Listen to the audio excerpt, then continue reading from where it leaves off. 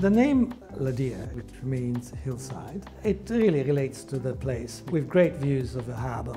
I call it like a theatre and it, it nestles on, on the hillside. Uh, it steps down with uh, layers. Each floor gets his own terrace, very large terrace.